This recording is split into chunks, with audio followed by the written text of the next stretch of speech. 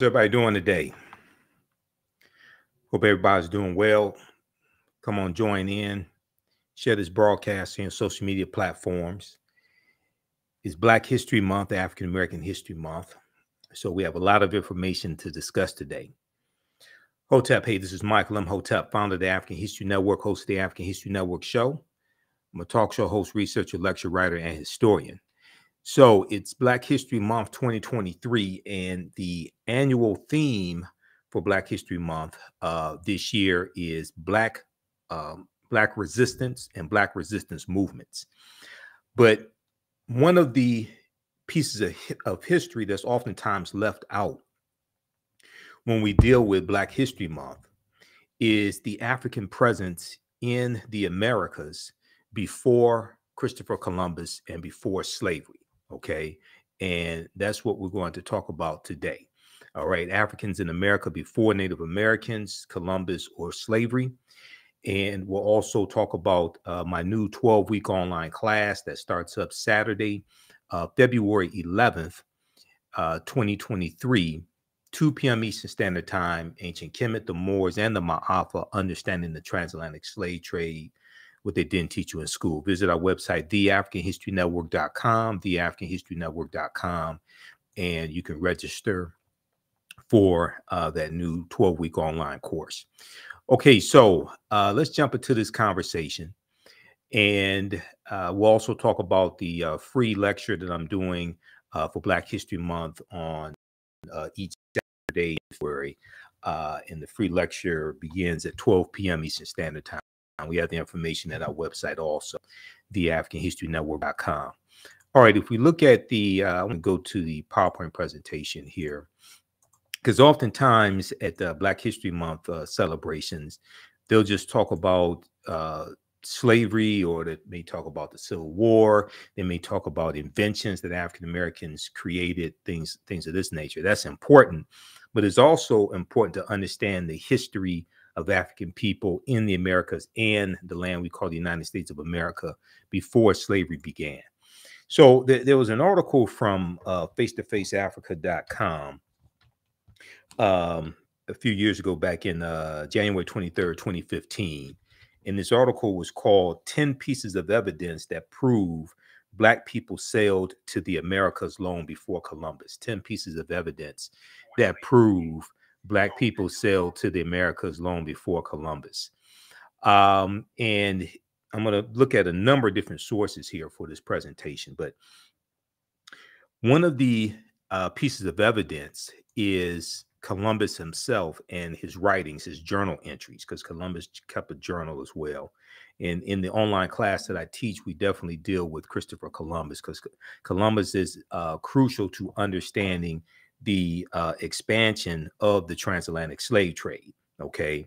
And Columbus is also connected to the African Moors as well, especially after the Moors lose control of the last stronghold, Granada, January 2nd, 1492.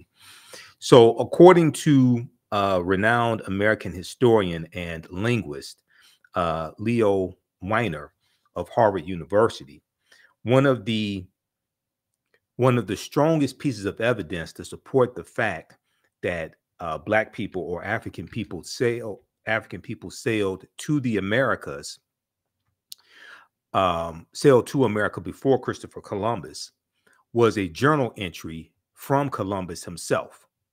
In uh, Leo Wiener's book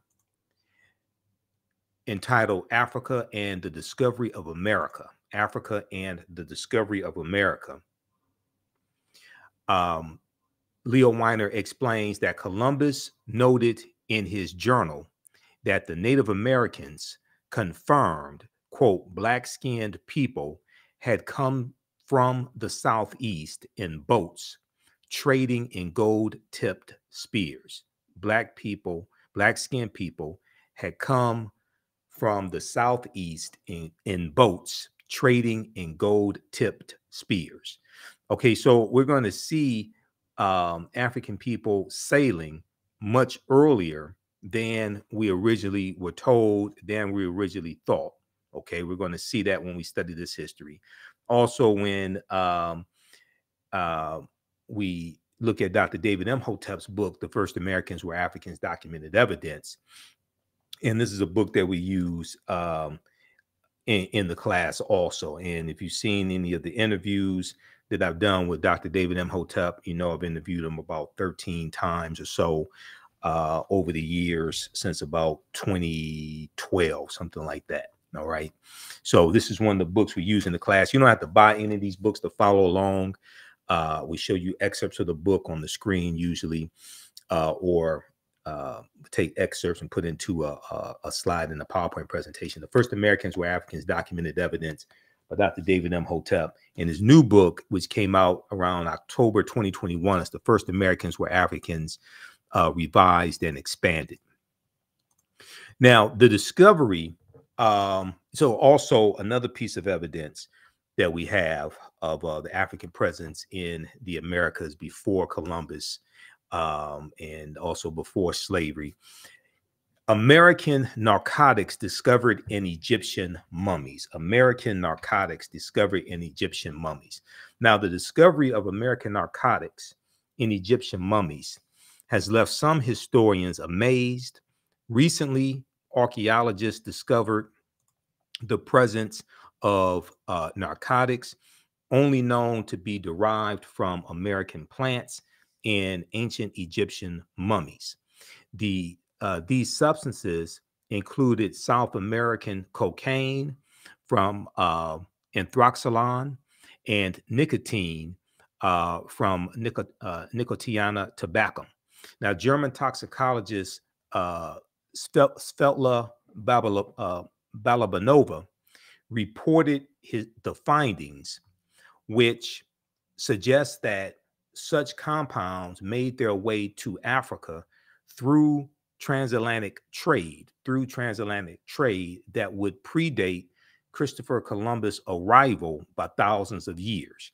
Now, it's also important to understand, and when I speak during uh, African American History Month celebrations, a lot of times, especially a lot of elders, a lot of seniors are surprised to hear this. But Columbus never came to the land that we call the United States of America. And we deal with this in the class.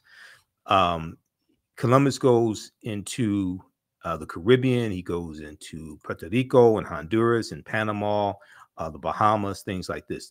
Uh, Cuba, the closest he comes to uh, the land we call the United States of America is Cuba, which is 90 miles away.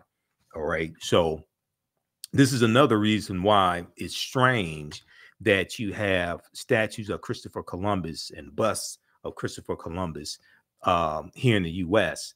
And he never even came to this land. Now, a lot of that, that that basically dates back to the Italian influence and also uh, President Benjamin Harrison trying to appease Italian Americans after you had 11 uh, Italians who were lynched. It was around the 1890s. They were lynched, and uh, Italy almost goes to war with the U.S. over this. Okay, but when you actually understand the history, it's like, wait a second, Columbus never even came to the land that we call the United States of America. So why we have these statues of, of Christopher Columbus here in, in the U.S. All right, let's continue. How's everybody doing? Give us a thumbs up, give us a heart, give us a like on this broadcast, and we'll give you information about our new 12 week online class that starts up Saturday, February 11th, just in time for African American History Month. Ancient Kemet, the Moors, and the Maafa, understanding the transatlantic slave trade, where they didn't teach you in school. Visit our website, theafricanhistorynetwork.com, theafricanhistorynetwork.com for more information and to register. Now, um, when we look at Egyptian artifacts or ancient Kemetic artifacts in North America, uh, for years, Eurocentric archaeologists have largely have largely turned a blind eye when it came to the discovery of artifacts from ancient Egypt being discovered in uh, the Americas. According to Dr. David Imhotep, who's a friend of mine, no relation, the author uh, behind the book, The First Americans, First Americans Were Africans Documented Evidence. Egyptian artifacts, quote, Egyptian artifacts found across North America from the Algonquin writings uh, on the uh, on the east coast to the artifacts and Egyptian place names in the Grand Canyon. Okay, Egyptian artifacts found across across North America from the Algonquin writings, which is a uh, Algonquin is a nation of Native Americans, okay, and they have African roots also, the Algonquin. Algonquin writings on the East Coast to the artifacts and Egyptian place names in the Grand Canyon, end quote, are all signs of an early arrival in the Americas by Africans, are all signs of an early arrival in the America in the Americas by Africans. Th this is also paired with a much earlier account of black people with incredible skills at sea.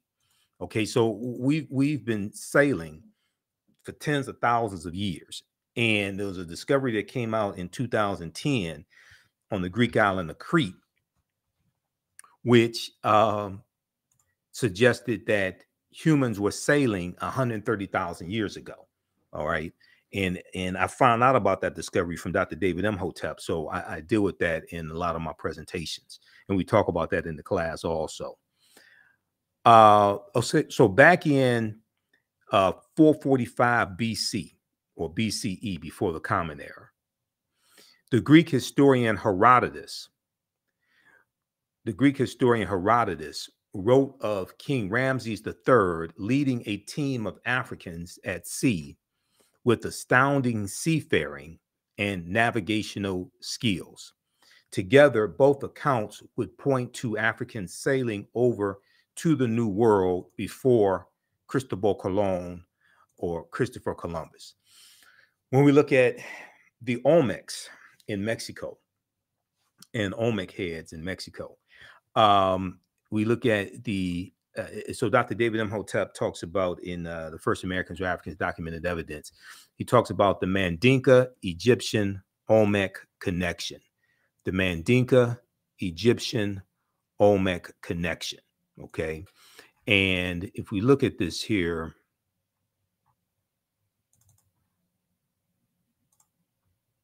let's go back to this slide here just a second. All right.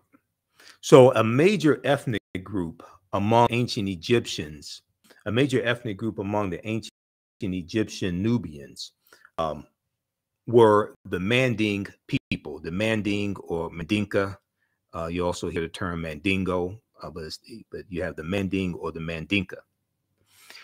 Uh, and an original Niger Congo homeland in the general vicinity of the Upper Nile Valley is probably as good a hypothesis as any for the origin of the Manding. The uh, Proto Manding migration had taken place before the African Aqualithic period. That was a wet period in Africa that lasted thousands of years. Okay, that was a wet period in Africa that lasted thousands of years at a time when the Sahara was uh, fertile and had river systems and Great Lakes. Okay. So this comes from um, the first Americans were Africans documented evidence. Now, the Nile flowed west across the Sahara and emptied into the Atlantic Ocean during very ancient times. Uh, this would have enabled East Africans direct access to the Atlantic Ocean the longer route, the longer route would be to sail to the Nile River north to the Mediterranean Sea and then head west to the Atlantic Ocean. Now, when the Manding um, reached Central America and began mixing with the local population, they were labeled Olmecs. The Olmecs were supposedly a mixture of the Manding uh, or Mandinka and uh, and or Amer uh, American Indians or Native Americans. Do not forget that the Manding made up the base of the Olmecs. So the Egyptians, the Manding, and the base of the Olmecs are related to each other. This comes from page 82 of the first Americans were Africans documented evidence by Dr. David Imhotep. Now, in 1311 AD, or Common Era, thousands of years after the Olmec arrived, the Mandinkan uh, uh, Muslim Abu Bakr II, okay, the ruler of the Mali Empire, Abu Bakr II, sailed 2,000 ships from Mali, West Africa, in the Atlantic, uh, Atlantic Ocean, headed west. When they reached South America, they left signs on the rocks at the mouths of rivers warning followers of dangerous or friendly natives. This comes from page 88 of uh, the first Americans were Africans documented evidence. So now there's a, a interesting article that face to face Africa.com has. And we post a lot of articles on face to face Africa.com as well here on our fan page, the African History Network, and uh, my personal page, Michael Imhotep, I M H O T E P. So uh, there's an article way before Columbus, ancient Malians sailed to the Americas in 1311. Okay, this is from December uh, 5th, 2018. Now, according to a number of sources, Abubakar II, uh, who's who's the Mansa or king of the Mali Empire in the 14th century, this is before Mansa Musa. He led uh, Malian sailors to the uh, Americas, specifically present day Brazil, almost 200 years before Christopher Columbus before Christopher Columbus arrived. Abubakar II ruled what was arguably the richest and largest empire on earth, covering nearly all of West Africa. Now, the BBC uh, reported in an article uh, called Africa's Greatest Explorer, Africa's Greatest Explorer. Uh, this article came out December 13th in the year 2000. Uh, they reported on um, the book, The Saga of Abubakar II. He left with, with 2,000 boats. This book is by Malian scholar um, uh, Gaoussou uh, Diawara. And in the book, he notes Abubakari wanted to find out whether the Atlantic Ocean, like the great river Niger that swept through Mali, had another bank. He had traveled extensively throughout and outside of the African continent, already owning most of the continent. His predecessor and uncle, uh, Sundiata Keita, had already founded the Mali Empire and conquered a good stretch of the Sahara Desert and the great forests along the West African coast. And here is a um, here's uh, so I read the article from the BBC. This is the article right here. I'm going to pull this up so you can take a look at this. This is from um, this article came out in the year 2000 from the BBC.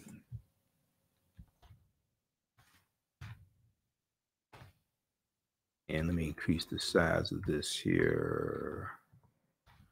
Okay, this one right here. Let's flip over to this.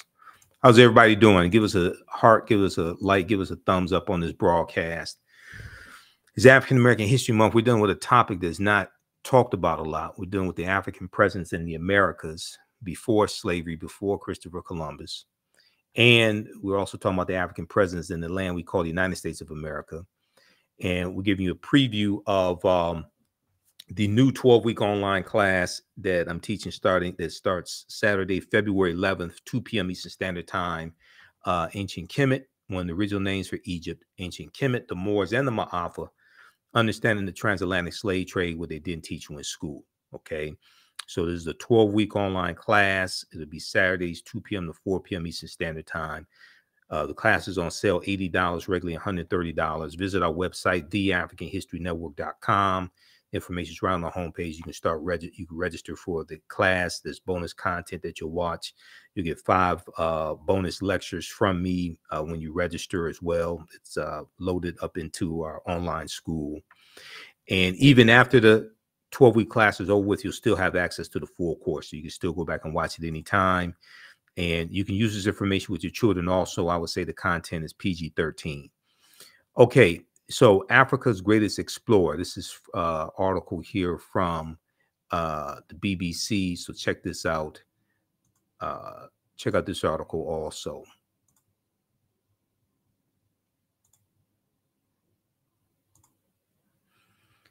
All right, let's continue here.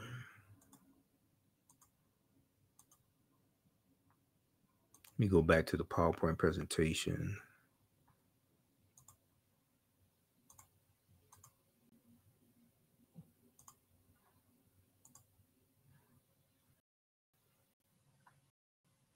All right.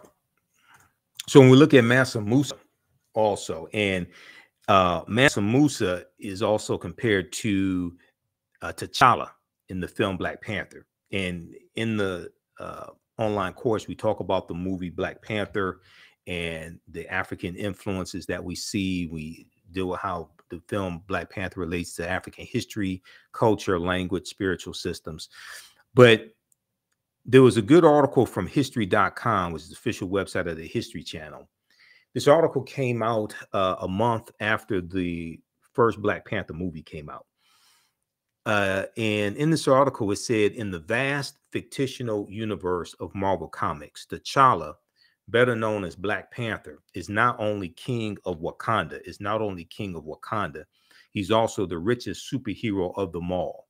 And although today's fight for the title of wealthiest person alive involves a tug of war between billionaire CEOs.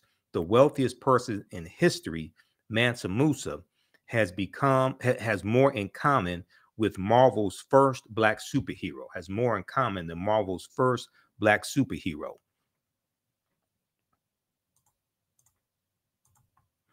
Mansa Musa became ruler of the Mali Empire in 1312 AD or Common Era, taking the throne after his predecessor Abubakar II, uh, for whom he'd served as deputy, went missing on a voyage he took by sea to find the edge of the Atlantic Ocean. Now, uh, Mansa Musa's rule came at, came at a time when European nations were struggling due to raging civil wars and a lack of resources, due to raging civil wars and a lack of resources. During that period, the Mali Empire flourished thanks to ample natural resources like gold and salt. Now, the name of this article is the uh, this 14th century African emperor remains the richest person in history. This is from history.com, which is the official website of the History Channel. And it came out March 19th, uh, 2018. So they're telling you, this is the History Channel, telling you that West Africa was flourishing when uh, Europe was uh, trying to come out of the dark ages and Europe was dealing with civil war and famine, different things like this. Uh, uh, West Africa is flourishing. Okay. So the, the history is there and it's, um, it's, it's, it's hard to say that the history is hidden. Is not so much as hidden, it's just not as prominent as the lie is. Okay. If you, you know, the information is there. But a lot of times people don't know where to go to get the information. Okay. And the lie is what is dominant, the lie is what is prominent. All right, let's continue. So when we look at um, an African presence in early America before Columbus or slavery, we look at this African presence. Uh, there was an article uh, that Runoko Rashidi, who was a friend of mine, I interviewed Runoko six times before he passed away August 2nd, uh, 2021.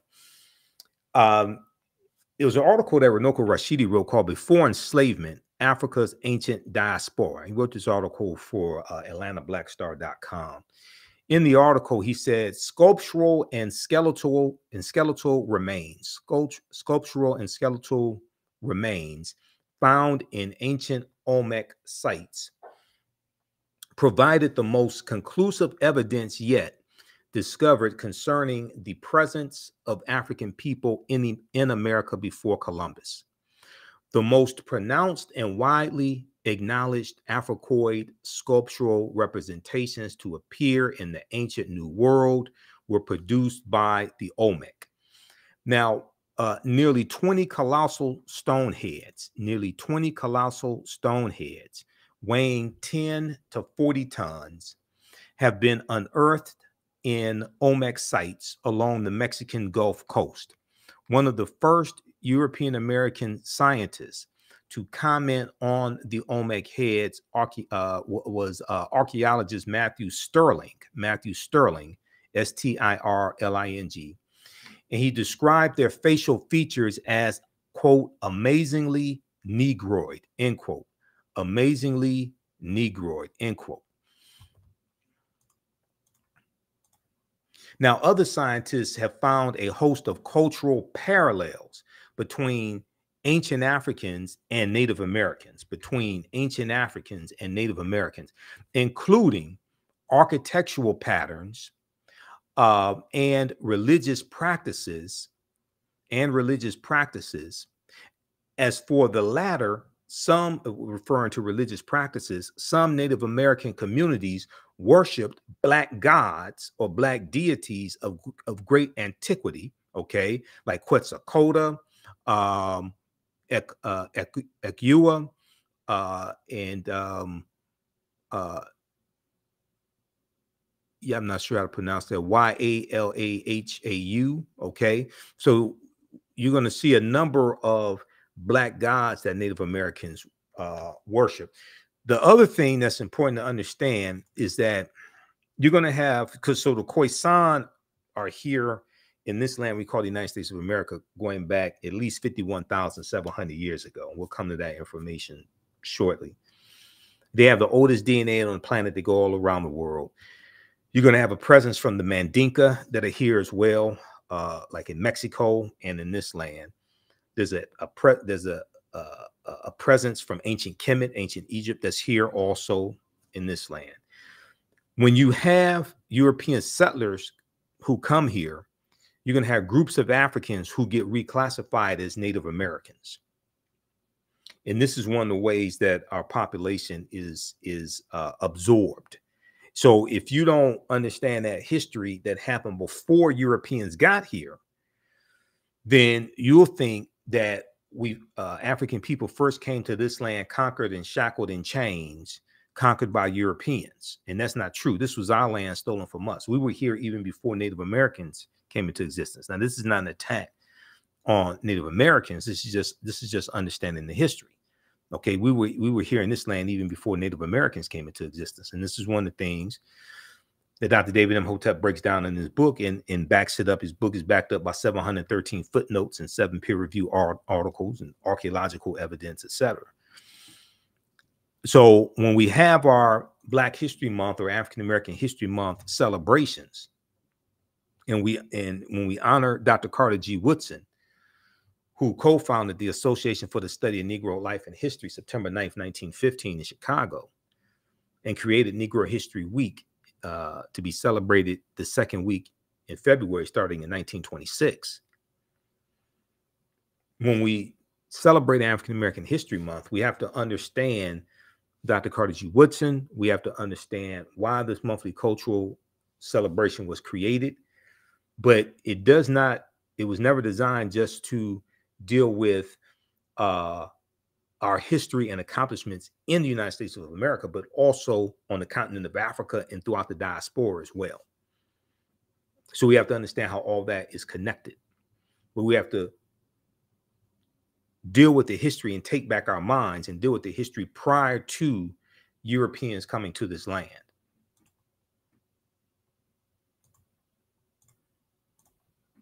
And I, you know, I speak at a number of different. Uh, in the past, I, I uh, spoken at a number of different Black History Month celebrations, and unfortunately, this type of information is not discussed there usually. All right, now during his third voyage, because Columbus went on four voyages uh, from 1492 to about 1504, so he dies in 1506. During Columbus' third voyage, he recorded that when he reached Haiti, and Haiti is on the island of Hispaniola, okay, the western third of the island of Hispaniola, that was first conquered by Columbus, okay. He first con- uh, is first conquered by Columbus around 1494. Uh, then is going to come under control by the French in 1697. Now, during Columbus' third voyage, he recorded that when he reached Haiti um, or Haiti, the resident population informed him that black men from the south and southeast had preceded him to the island, okay, of of Haiti, Haiti, uh, that the uh, French called Saint Dominique, the Spanish called uh, Santo Domingo.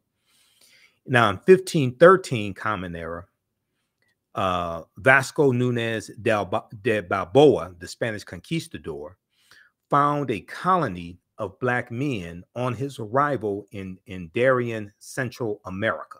In Darien, Central America. Okay, now there's an article from uh, 1975 by uh, Dr. Ivan Van Sertima. We know Dr. Ivan Van Sertima wrote the book They Came Before Columbus. There's an article from the New York Times uh, that Dr. Ivan Van Sertima wrote called Bad News for Columbus, Perhaps.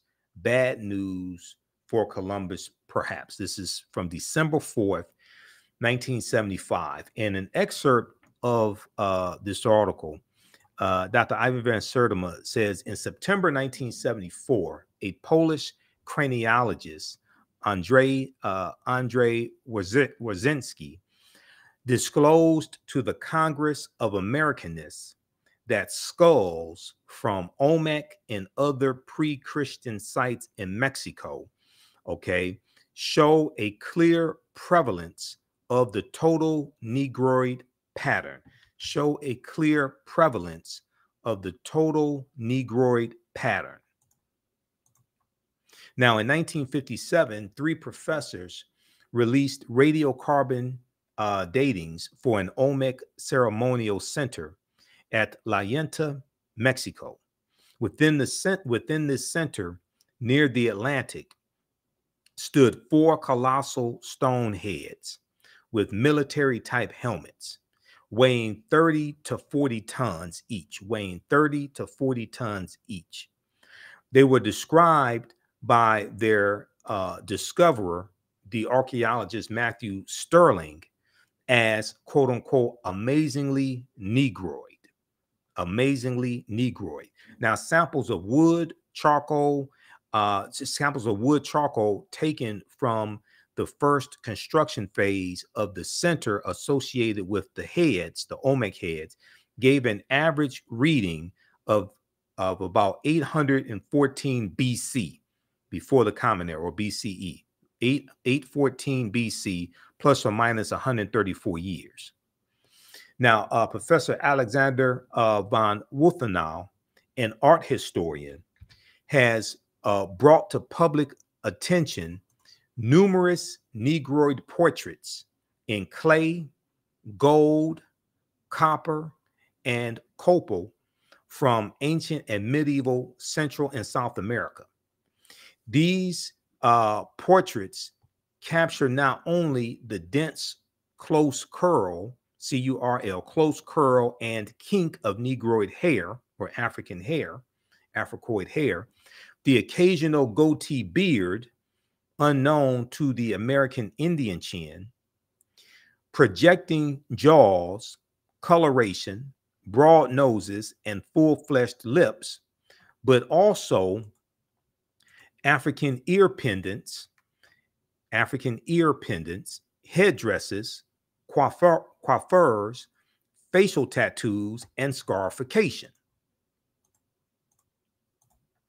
Now, these discoveries have posed riddles to many anthropologists.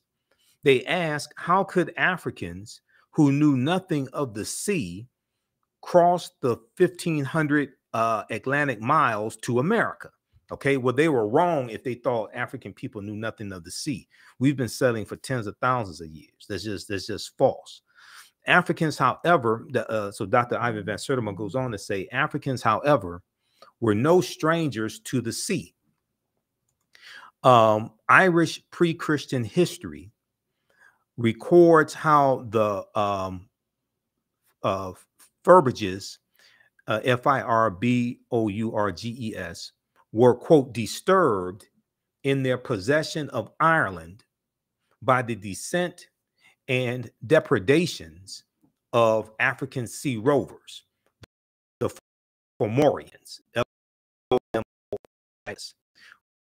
had a main stronghold on Tory Island.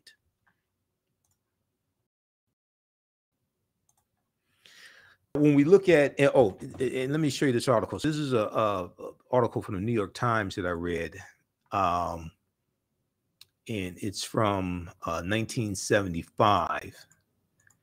Let me pull this up here.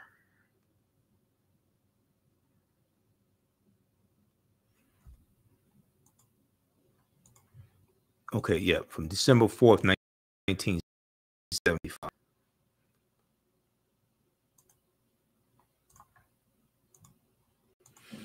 All right, you can post your comments here. Give us a thumbs up, give us a heart, give us a like. This type of information, uh, we don't hear a lot oftentimes during Black History Month. Um, and there's an annual theme for Black History Month every year. There's been an annual theme since 1928. So if you've seen some of my presentations, if you heard my show, um, if you heard my show on Sunday night, the African History Network show, you know, we talked about that as well. And I'm going to post the article uh, that I updated, the article I wrote a few years ago about the origins of Black History Month. But you can register for the online class also uh, that we have starting up on Saturday, February 11th, 2023, class number one of this 12 week online history class that I teach called Ancient Kemet, which is one of the original names for Egypt, Ancient Kemet, the Moors, and the Maafa, understanding the transatlantic slave trade, what they didn't teach you in school, where we get deep into uh, this type of history. Okay, so this article right here, this is from the New York Times. Bad news for Columbus, perhaps. Bad news for Columbus, perhaps. But Van Sertima. He goes through and lays this information out. You may have to, I'm not sure, you may have to get a subscription to the New York Times, a digital subscription to read that because it's in their archives. I have a digital subscription. So I read the New York Times, Washington Post every day. Okay, let's continue here. Also, uh, we have the information on the homepage of our website. Uh, so Saturday on Saturdays we're doing two things. Um, each Saturday in February, I'm teaching a free.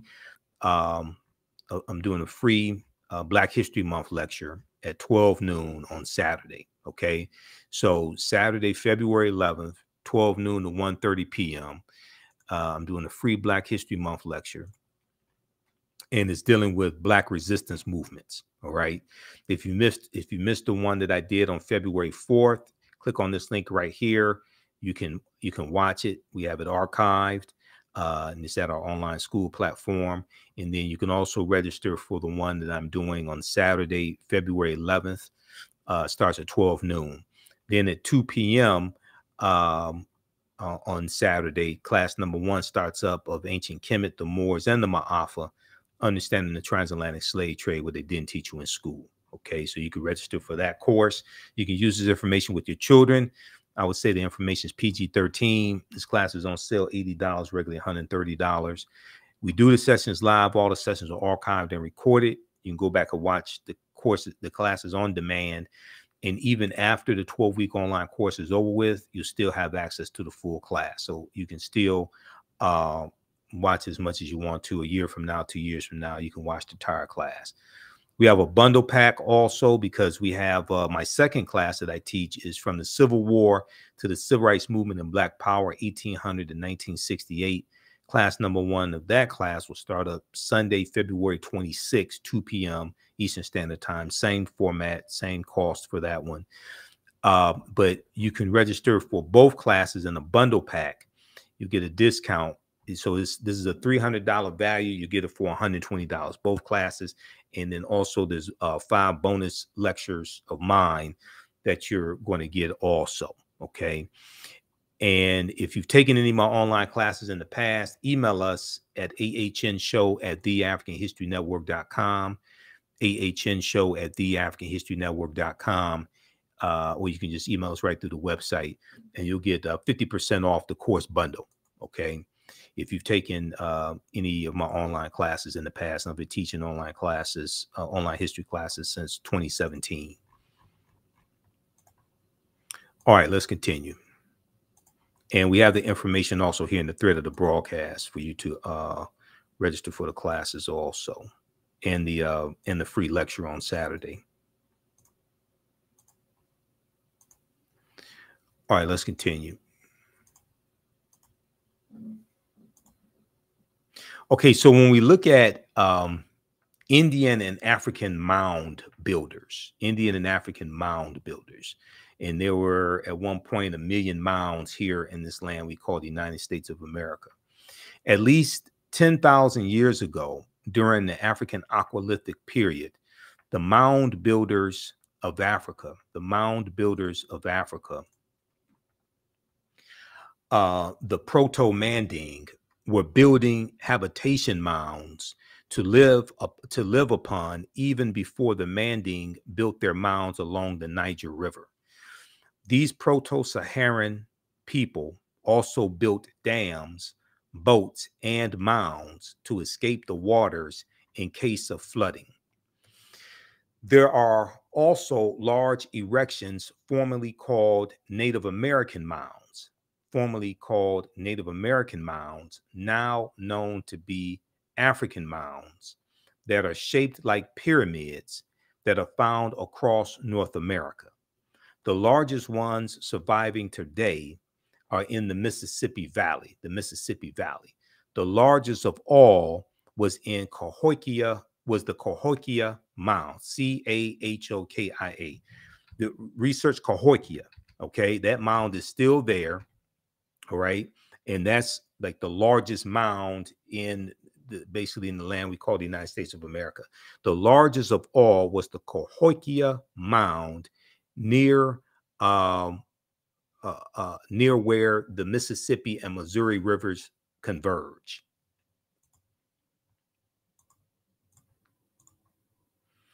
Now, uh, Cyrus Thomas, who's director of the Eastern Mound Division of the Smithsonian Institute's Bureau of Ethnology in 1881, said, quote, distinct from the American Indians, there was a race of mound builders in America distinct from the American Indians. Okay, now there were 1 million Indian mounds in North America. Today, there are only about 100,000. Uh, read pages 71 through 74 of The First Americans Were Africans Documented Evidence by Dr. David Imhotep. So, in his book, um, and there's a clip that I show you uh, of an interview that uh, he did with uh, WKRP in Cincinnati, Channel Five in uh, in uh, Cincinnati. When uh, and he's talking about his book on page 14 of his book, he deals with this discovery that was made in Allendale County, South Carolina, in um, 2004. 2004 by Dr. Albert Goodyear. Okay.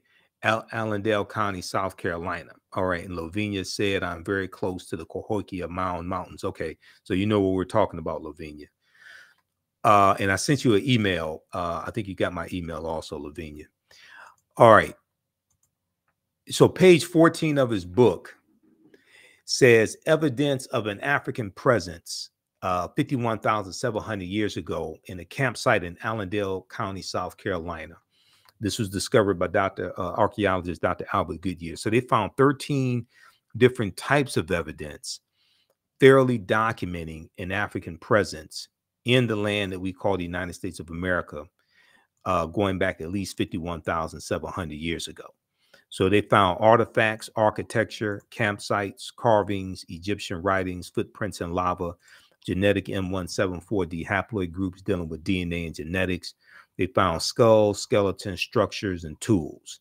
Okay, they found 13 different types of evidence thoroughly documenting African presence here. So these were the Khoisan.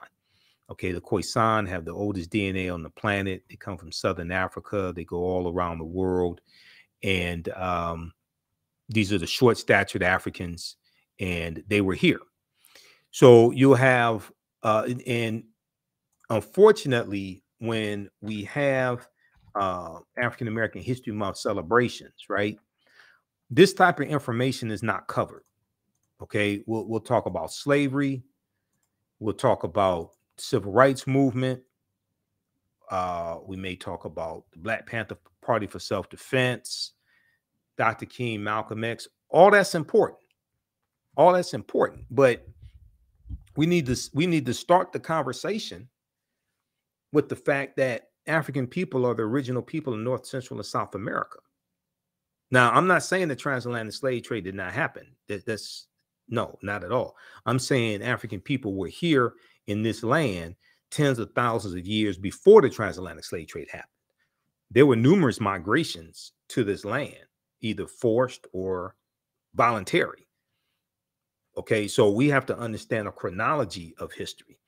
And oftentimes, you know, unfortunately, we don't get the full uh we don't we don't get the the full benefit uh of Black History Month It's not as powerful as it could be if we had a better understanding of history and the chronology of history, but also understand that their annual themes each year for for for Black History Month, and these annual themes give you direction, and it gives you topics to discuss in your celebrations.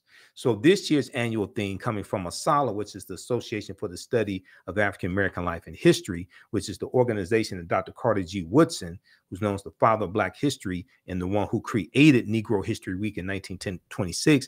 This is the organization he co-founded in September 1915.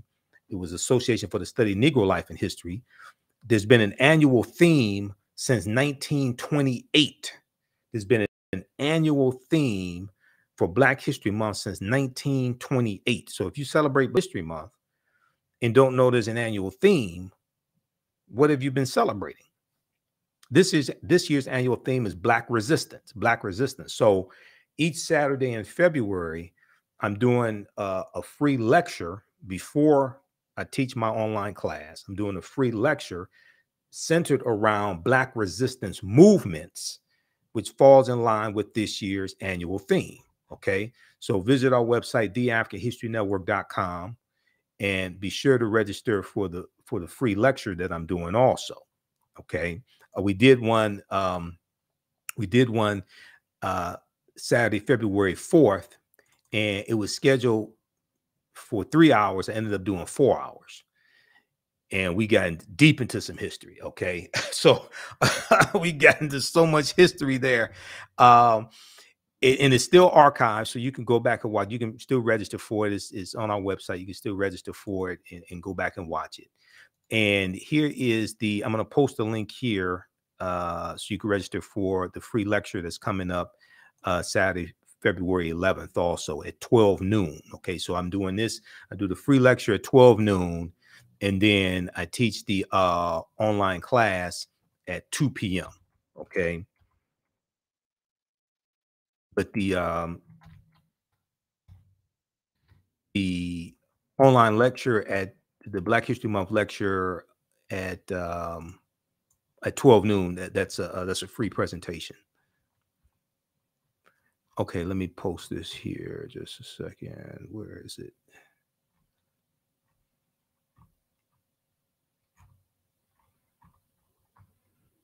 All right.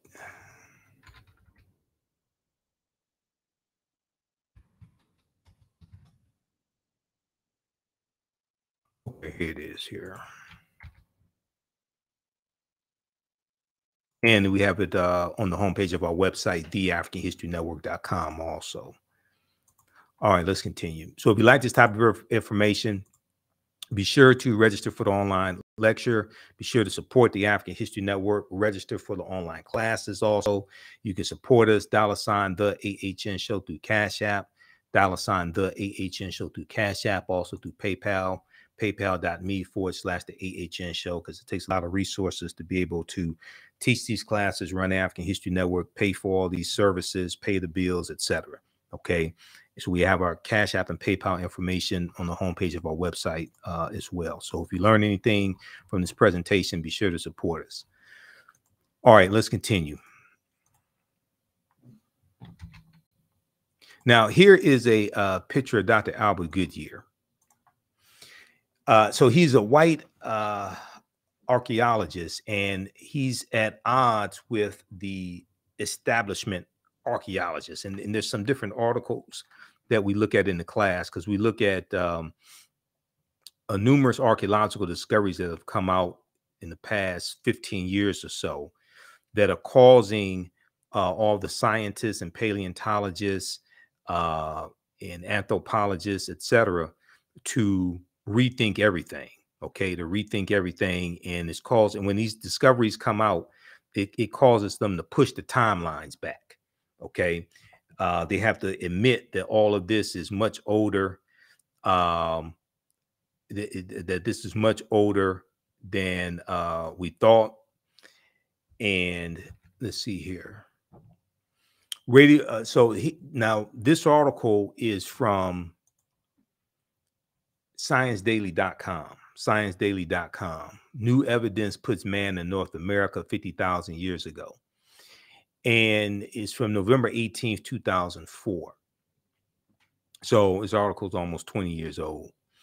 Um, radiocarbon tests of carbonized plant remains, where artifacts were unearthed last May along the Savannah River in Allendale County by University of South Carolina uh, archaeologist Dr. Albert Goodyear, indicate that the sediments containing these artifacts are at least 50,000 years old meaning that humans inhabited North America long before the last ice age. So this is a summary of the uh, actual uh, article. And this is not my summary of the article. This is the summary from ScienceDaily.com. Now the article is still there. You can go read it, right? You can go read it when you finish watching this broadcast. New evidence puts man in North America 50,000 years ago.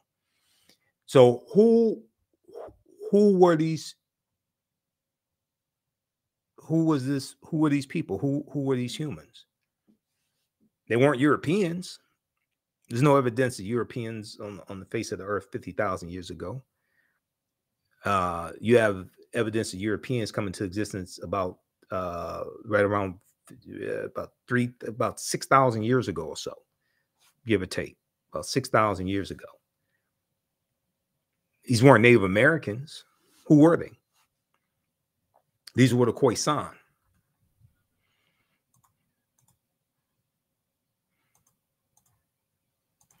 All right, now this article from um, this article is from the New York Times. This is from February 15th, 2010. It's called On Crete New Evidence of Very Ancient Mariners on Crete new evidence of very ancient mariners. Uh, and I found out about this article from uh, Dr. David Imhotep. Okay. And then I read it. And when different archaeological discoveries would come out, oftentimes I would email him uh, about the update and we uh, call him, we'll discuss it. Uh, and sometimes we, we talk about it in some of the interviews that, that I've done with them. So this discovery is causing the scientists to have to rethink everything. Here, here's an excerpt of the article. It says stone tools on the Greek island of Crete, C R E T E, over two summers, archaeologists uh, say are at least 130,000 years old, or at least 130,000 years old which is considered strong evidence for the earliest known seafaring in the Mediterranean and calls for rethinking the maritime capabilities of pre human cultures. okay, are at least 130,000 years old, which is considered strong evidence for the earliest known seafaring in the Mediterranean and calls for rethinking the maritime capabilities of pre-human culture. So they're saying we we have to rethink all this stuff. All this stuff is much older than we thought. Crete has been an island for more than 5 million years, meaning that the tool makers must have arrived by boat. So this seems to push the history of Mediterranean voyaging back more than 100,000 years, specialists in Stone Age archaeology say. Previous uh, previous artifact discoveries had shown people reaching Cyprus, a few other Greek islands, and possibly Sardinia no earlier than a, than 10,000 to 12,000 years ago. So once again, they're saying, wait a second. We have to push the timelines back. Okay, we thought earlier seafaring in the Mediterranean uh, was 10,000, 12,000 years ago, but now we're seeing evidence and we have to push that timeline back to 130,000 years ago. Now, this this goes to something that this goes to uh, something that uh, Runoko Rashidi, uh, Dr. Charles Finch, and other um, African citizen scholars have been talking about for years. And they've been saying that uh, modern man, uh, Homo sapiens sapiens, they've been saying that they are at least 300,000 years old as opposed to 75,000 to 100,000 years old. And at least 130,000 years of our history is stolen. And as these archaeological discoveries keep coming out, it's it's flipping the archaeological world upside down and it's shocking the scientists and they just have to keep pushing the timelines back. So we deal with a number of different archaeological discoveries in like the first two uh sessions of the class. So we can set a, a good foundation to dig into this history because we can't start studying our history in slavery. Even when we study the history of African people in this country, we we were here for going back tens of thousands of years. So when I the, the type of classes I teach and when I do my Black History Month presentations, things like this is an entirely different type of presentation. All right, how y'all like this type of information? Give us a thumbs up, give us a heart, give us a like. Uh, be sure to visit our website, theafricanhistorynetwork.com. Register for the uh, free online uh, Black History Month lecture I'm doing on uh, Saturday, 12 noon, uh, 12 noon Eastern Standard Time, and register for the online class also on Saturday, uh, 2 p.m. Now, the article goes on to say from the New York Times, February, and this is from the science section of the New York Times, by the way. He goes on to say, even more intriguing, the archaeologists who found the tools on Crete noted that the style of the hand axes suggested that they could be up to 700,000 years old. Now, they admit that may be a stretch. That's true. That may be a stretch. They conceded but the tools resemble artifacts from the stone technology known as Acheulean, Acheulean, A C H E U L E A N, which originated with pre human populations in Africa between 150,000 years ago and 1.5 million years ago. Now, they go on to say, because some people, you know, when, I've, when I've talked about this discovery in the past, you know, I have some uh, people on social media, some white people, uh, not a lot, but he has some idiots who will say, "Oh, they found a couple of stone tools or something like that," trying to dismiss the discovery. Right? No, it wasn't a couple of stone tools. It wasn't two. It wasn't twenty. It wasn't two hundred. They found more than two thousand stone artifacts. They found more than two thousand stone artifacts over the course of two summers on the Greek island of Crete, including the hand axes. These were collected on the southwestern shore of Crete. So the deeper they dig, the blacker the planet gets, the more research they do, the older we get. But even on the continent of Africa, they're having to push the timelines back, also, the archaeologists, right? So this discovery here came out June uh, 2017, and all the news outlets uh, had stories about this archaeological discovery. And this is from um, uh, NBCNews.com, this particular one, but all of them reported. Washington Post, New York Times. I've read I read uh, articles from numerous uh, uh, news outlets.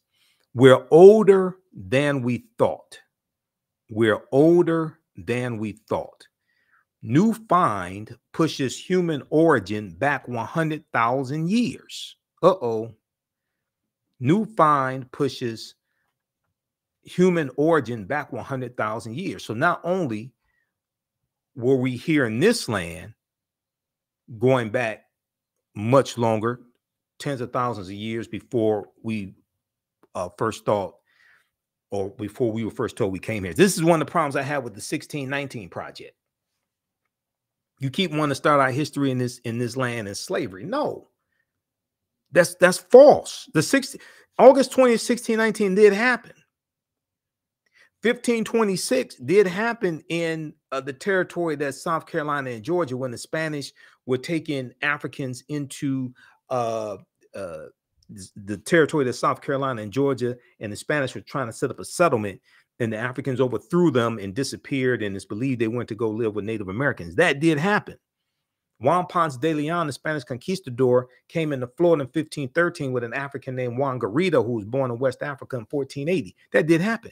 But you got to deal, before you start talking about 1619, you got to deal with thousands of years of history of an African presence here in this land. Don't put us, don't, don't, don't make it seem like we first came to list came to this land conquered and shackled in chains, conquered by Europeans. If that's where you start your history, you already start grossly behind in history, and you start with your with with your mind arrested. You start with your mind already conquered in chains. You already start diminished, dehumanized, stripped of African history, culture, language, spiritual systems, land, mores, family ties, nationality, all of that. So yes, there's some factual information in in the 1619 project, but the, but but their their basis, their foundation is grossly flawed, is grossly flawed, grossly historically accurate. You got to deal with history before those Africans were were were, were uh, on, on the White Lion pirate ship, in that comes into uh, Hampton is actually Hampton, Virginia. Comes into Hampton, Virginia, August 20, 1619, in our exchange for uh, food and water uh, and supplies. And in 1619, codified slave laws didn't even exist in any of the 13 colonies. They're put into a form of indentured servitude and, and, they will be released after three to five years. First colony that had codified slave laws was Massachusetts in 1641. They come to Virginia about 1660, 1661. The whole way the history evolved here in this country is not even the way uh, the, the way we think all this evolved is not even how it happened. Because the way that the history is told is that, oh, you know, all the colonies had slavery when those Africans, uh, the Kimbundu speaking um, Africans from uh, Angola, okay, because those, those, those were Africans from Angola. Uh, we're taught, you know, oh, they they had slavery here in the 13 colonies in 1619. No, they didn't. If you read chapter two of Before the Mayflower belong, uh, uh, by Lerone Bennett Jr., and that's one of the books we use in the class. Now, you don't have to buy any of these books to follow along in the class, but this is one of the books we use in the class. You read chapter two, he deals with how all this evolved. And then you have to deal with Bacon's Rebellion in 1675 and 1676, where you had a, uh, a armed revolt by enslaved Africans, uh, free African Americans, white indentured servants, uh, poor white people, poor white immigrants, and they all united because they were being mistreated on the tobacco plantations in Virginia. and they saw that they had a common enemy who were the ruling elite, the wealthy class, and they all united against them and had a rebellion. And in about 1676, they burned down the, the, the town of, of, of Jamestown, Virginia in 1676. This is Bacon, Nathaniel Bacon, who was a wealthy tobacco plantation owner. He led this rebellion. It's called Bacon's Rebellion. And it's going to be after Bacon's Rebellion, right about 1681, that the colony of Virginia introduces on a widespread usage, the widespread usage of the term white, where previously they referred to Europeans as Englishmen or Christians, but they're going to use the term white to designate these these English, the Englishmen or English women, because they're trying to break up the alliance between enslaved Africans, uh, free African Americans, and then some also um, uh, uh, black or African indentured servants, and then the poor whites and white indentured servants. They're trying to break up that alliance between them. Okay, then this, this leads to 1705, the Virginia Slave Codes of 1705, which incidentally, Section 4 of the Virginia Slave Codes makes a distinction between the treatment of Negroes and the treatment of Moors, M O O R S. So you have to we have to understand this history, understand how we got here, the laws and policies put in place to understand where we need to go from here. So if we look at this, we're older than we thought. New find pushes human origin back. Modern humans evolved much earlier than previously thought, researchers reported Wednesday. New discoveries at a rich site in Morocco show modern humans were hunting and probably cooking game animals 300,000 years ago, 100,000 years earlier than scientists have believed until now. Okay. 100,000 years earlier than scientists have believed until now. Now, check this out. New discoveries and new dating methods show that, in fact, many of the bones belong to modern Homo sapiens, modern Homo sapiens, modern man, and they lived as far back as 300,000 or 350,000 years ago. The earliest previous Homo sapiens bones date back 195,000 years ago. So this discovery here blew it out the water. Okay, number one. Number two, like I said, you know, at least 130,000 years of our history has been stolen. So the earliest known uh, remains date back 195,000 years ago. That goes back to about 1974 in Ethiopia. And then we have Morocco, North Africa, over 100,000 years before that okay, an African presence. And this is of modern man. The earliest previous Homo sapien bones date back 195,000 years ago, and they're clear across the continent in modern day Ethiopia. Taken together, the findings show modern humans were dispersed across Africa long before anyone ever thought. So we go through and, and, and look at this history. We look at a chronology of history uh, throughout the course, throughout the 12 week online course that starts up um, Saturday, February 11th, 2023, 2 p.m. Eastern Standard Time. Ancient Kemet, the Moors, and the Maafa, understanding the transatlantic slave trade, what they didn't teach you in school. All right. So, uh, and we look at the history of the Moors as well, definitely because the Moors take the teachings from ancient Kemet, ancient Egypt, into the and uh, you know take the teachings teachings from the Nile Valley region of Africa. They take this into Europe, and this is going to bring Europe out of the Dark Ages. So, who were the Moors? Okay, the Moors' ancestors were known as the Garamantes. Uh, these were a black African people living throughout North Africa. Hannibal Barca was uh, Garamanti, as well as Saint Augustine. And we talk about Hannibal Barca and the uh, Battle of Cannae, the Battle of Zama, uh, 202 BC. Um, eh, we talk about the Punic Wars, the Carthaginians, uh, Carthaginians fighting against Rome. We, we deal with this in the course. The Moors, according to George G.M. James in uh, his book Stolen Legacy, were the custodians of the ancient Egyptian mystery system, the custodian of the ancient Egyptian mystery system.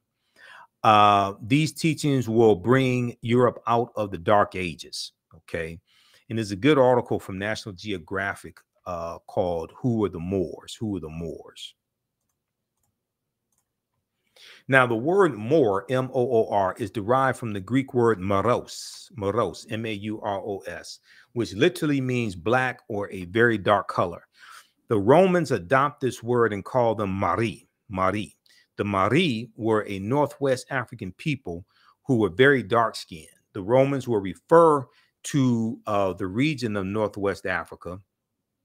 They will refer to the region of Northwest Africa as Mauritania, Mauritania, which uh, in Mauritania is Latin, and it means the land of the black skinned people, the land of the black skinned people. You'll also uh, hear the term Marish, okay? If now Romans later adopt the word as a reference for the black skinned inhabitants they encountered in Africa. Now, if you, now, if you read Golden Age of the Moor, edited by Dr. Ivan Van Sertima, uh, pages 527 and 187 of Golden Age of the Moor, this book right here, uh, breaks down this information. Okay. And this is one of the books that we use as reference in the course, the 12 week uh, course. You don't have to buy in these books to follow along in the class. We show you excerpts on the screen. Also, you don't have to be present in the class because we do the sessions live, but they're all archived and recorded. So you can go back and watch it anytime. We don't give tests, don't take attendance, anything like that. Okay. Uh, so and then when we look at the the uh, Moors invading uh, into the in the Iberian Peninsula 711 AD, led by Tariq ibn Ziyad. Uh, in 711, the bold Tariq crossed the straits and disembarked near a rock promontory, which uh, from that day since has borne his name called Jebel Tariq, Jebel Tariq or Tariq's Mountain. We now we know it as Gibraltar or the Rock of Gibraltar. Okay, Gibraltar comes from Jebel Tariq. Okay, named after an African man, named after a Moor. All right, in in August 711 AD, Tariq won paramount victory over the opposing European army. On the eve of that battle, Tariq is alleged to have uh, roused his troops with the following words My brethren, the enemy is before you, the sea is behind. Whither would ye whither would ye fly? Follow your general. I am resolved either to lose my life or to trample on the prostrate king of the Romans. Now, wasting no time to relish his victory, Tariq ibn Ziyad pushed on, uh, pushed on with his dashing and seemingly tireless Moorish cavalry to the Spanish city of Toledo. Within a month's time, General Tariq ibn Ziyad had effectively terminated European dominance of the Iberian Peninsula. This comes from an excellent article written by uh, Runoko Rashidi called Moors, Saints, Knights, and Kings The African Presence in Medieval and Renaissance Europe.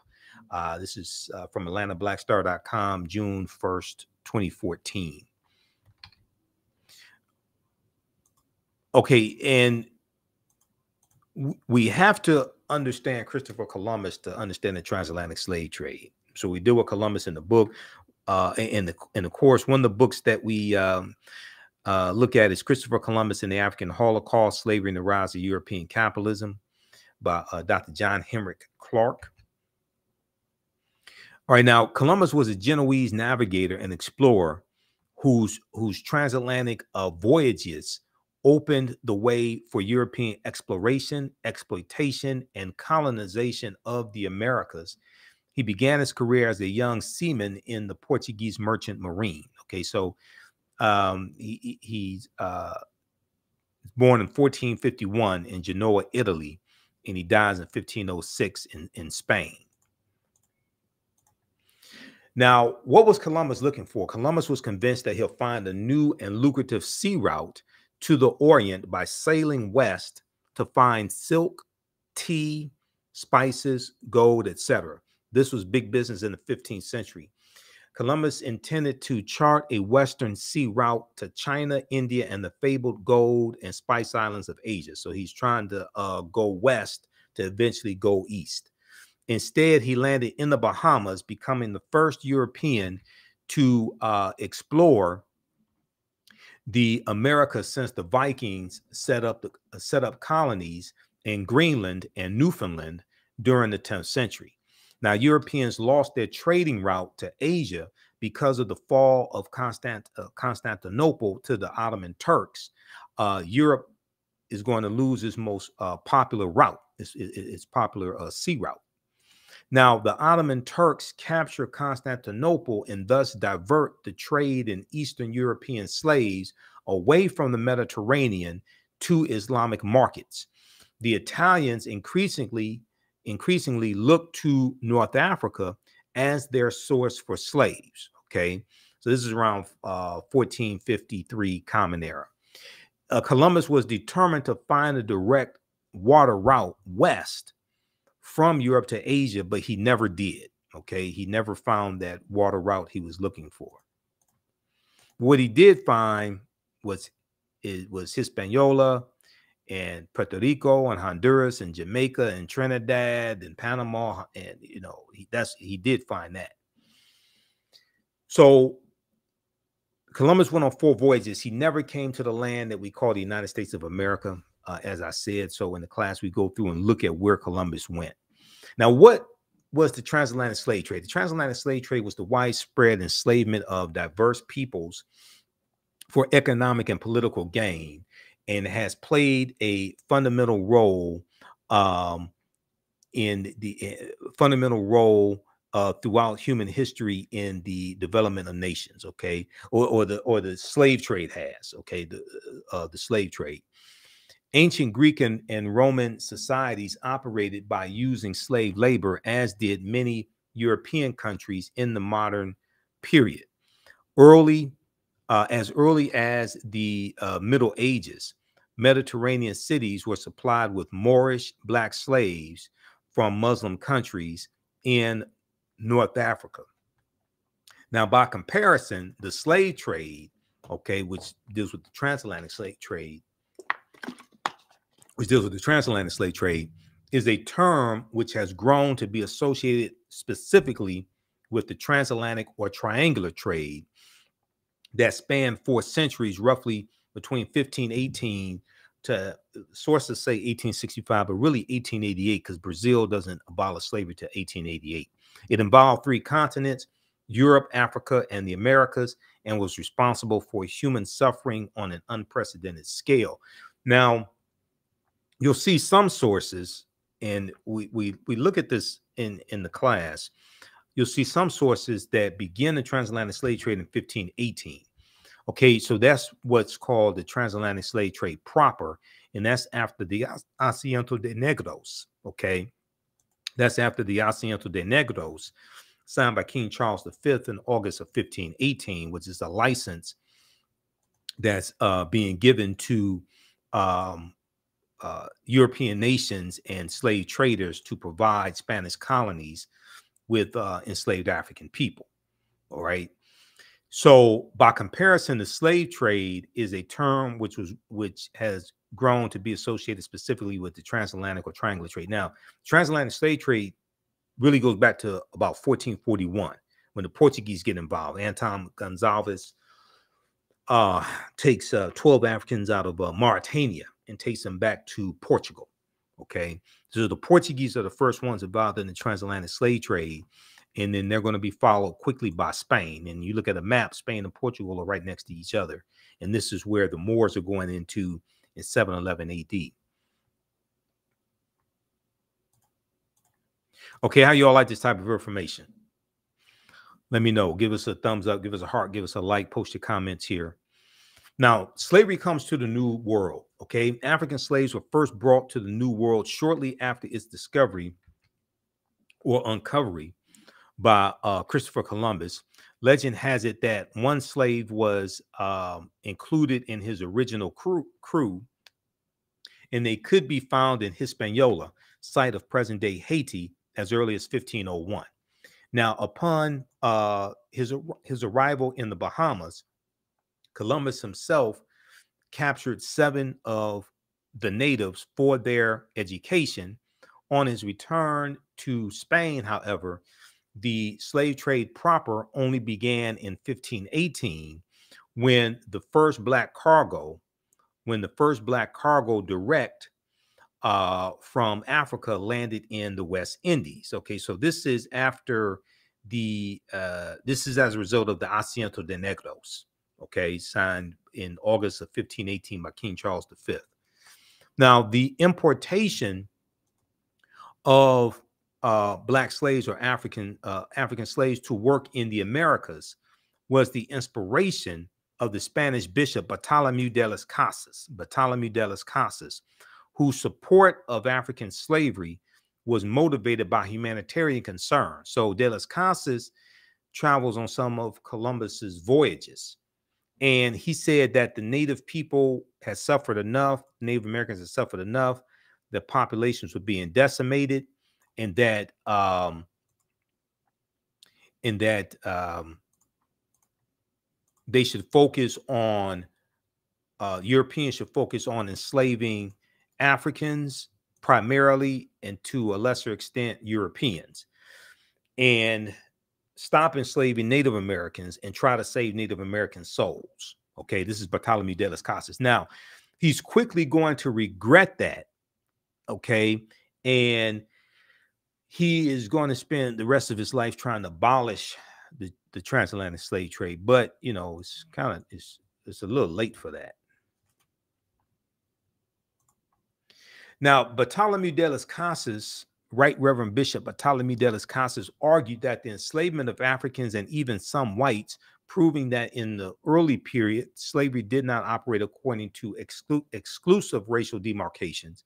He argued that it would save the indigenous uh, uh, Amerindian populations or American Indian populations, which were which were not only dying out but engaging in large scale resistance as they opposed their excessively harsh conditions.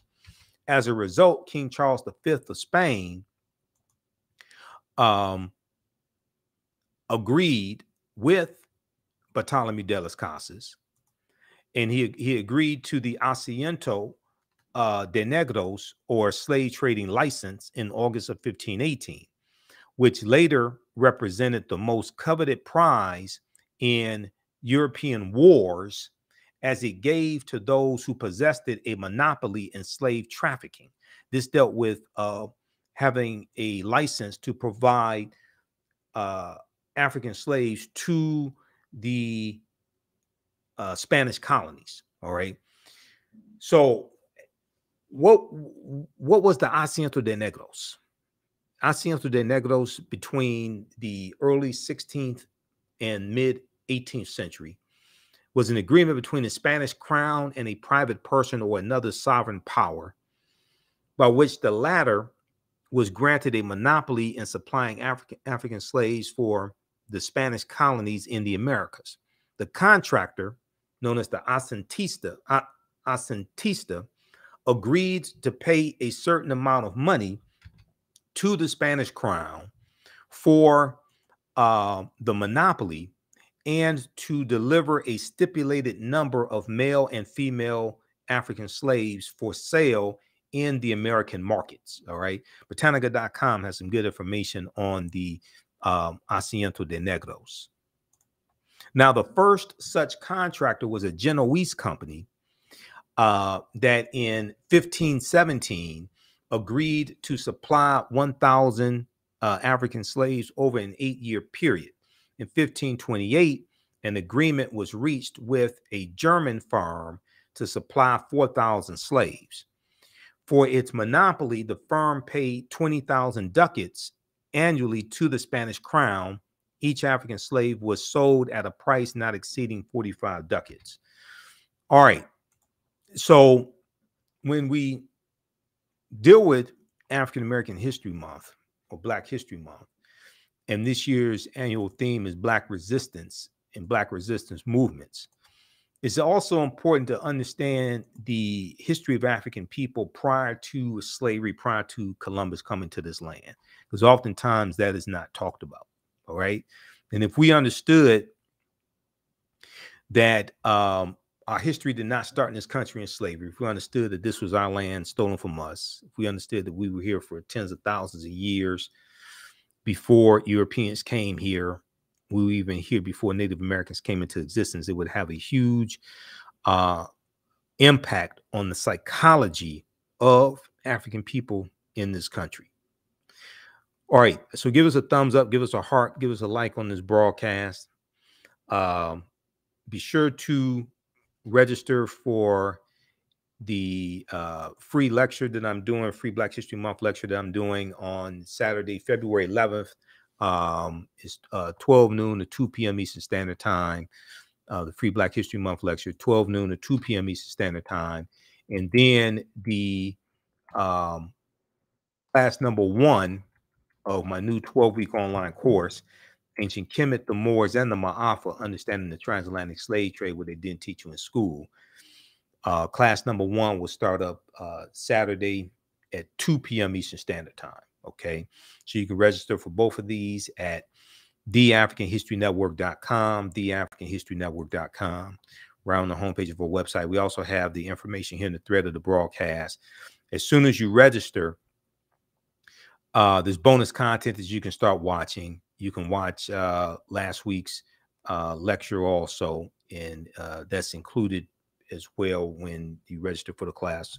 Uh, we did, and I, I ended up doing four hours um, last week to kick off uh, Black History Month. Okay, so we have uh, information here around the homepage of, uh, of the website for the uh, new online class. And we do the sessions live. All the sessions are archived and recorded. You can go back and watch it anytime. It's on sale $80, regularly $130. You don't have to be present in class. Uh, don't take attendance or anything like that. And as soon as we finish, the uh, the class is archived, so you can go back and watch it. Click right here to register for the full course. Uh, you you can click here as well, and we have the flyer here also. Okay, we deal with thousands of years of history and deal with what leads up to the transatlantic slave trade taking place. The second class that I teach will start up Sunday, February 26, class number one. 2 p.m. to 4 p.m. from the Civil War to the Civil Rights Movement and Black Power, 1800 to 1968. And we go through and look at what leads to the Civil War taking place. We look at about 168, 170 years of history. Uh, we look at the Civil War, Reconstruction, Jim Crow era, World War One, World War Two, uh, Great Migration, Civil Rights Movement, Black Power Movement to understand the laws and policies put in place that brought us to where we are today to understand where we need to go from here. And then also uh, each Saturday in February, 12 noon Eastern Standard Time, I'm doing free Black History Month lectures as well. So you register for that here uh, also. That'll be 12 noon to 1.30 p.m. Eastern Standard Time. And it's, and it's centering around Black resistance movements. Black resistance movements. Black resistance is the uh, annual theme for Black History Month 2023. Okay. So visit our website, theafricanhistorynetwork.com and we have all that information there and also information on uh, my radio show, the African History Network show, Sundays, 9 p.m. to 11 p.m. Eastern Standard Time on 9 10 a.m. Superstation WFDF here in Detroit. And uh, we also broadcast on our social media platforms, uh, Facebook and YouTube um, as well. Okay. So we have our social media platforms there on the homepage of our website. All right, look, we have to get out of here. Uh, remember, the African History Network can focus on educating, empowering, and inspiring people of African descent. Uh, you can advertise with the African History Network uh, as well. Uh, advertise your Black-owned business for Black History Month. Current promotion: buy one month, get one month free. Buy one month, get one month free. Uh, email us uh, through the website or email us at ahn show at theafricanhistorynetwork.com. We have three advertising packages uh, to help you reach thousands of people across the country. And also, we'll, put your uh, uh, commercial into the uh, rebroadcast of, of these shows that I do, as well as into the audio podcast of these shows. We're on nine different audio podcast platforms like iTunes, Castbox, iHeartRadio, FM Player, TuneIn. So we have three different um, advertising packages uh, also. Okay, so we have that information uh, at our website as well. When you scroll down, uh, past the information for the classes, and we also have information dealing with my uh, uh, have um, lectures in digital download format that you can um, order as well. Advertise with the African History Network, three uh, new ad packages to choose from. Okay, email us at ahnshow at theafricanhistorynetwork.com. Uh, we also have this uh, 15 lecture download bundle pack of 15 of my lectures. Um, African History Awakens the African Mind from Mental Death. That's on sale $50. That's $150 value. So you can uh, order that as well. I mean, it's a great, um, that, that's uh, a great bundle pack for learning during Black History Month. All right. Okay, and that's still on sale for a little while longer. Okay, look, we have to get out of here. Remember the African History Network. We focus on educating, empowering, and inspiring people of African descent throughout the diaspora and around the world because right now it's correct your own behavior. It's not over till we win Wakanda forever. And we'll talk to you uh, next time. Peace.